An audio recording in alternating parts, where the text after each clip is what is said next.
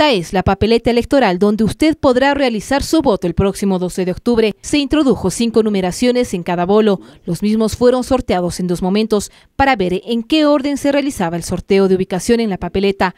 El primero fue el Movimiento al Socialismo. El vicepresidente Wilfredo Bando presidió el acto. Primer acto de sorteo público, y columnas de la papeleta de el segundo momento fue el sorteo de ubicación. Partido Demócrata Cristiano sacó el número uno de ubicación. Se mostró satisfacción en el rostro del delegado de dicho partido.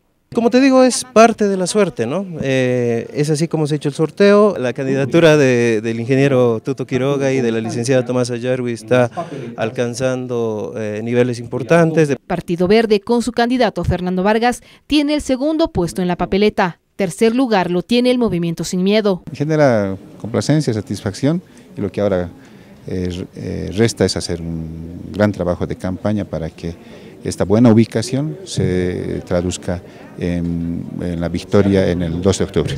El MAS tiene el cuarto lugar. Según su delegado, no interesa la ubicación. Nuestros militantes ya, ya conocen cuál es nuestro, nuestra imagen, cuál es nuestro logotipo, así que no hay mucha necesidad de eso.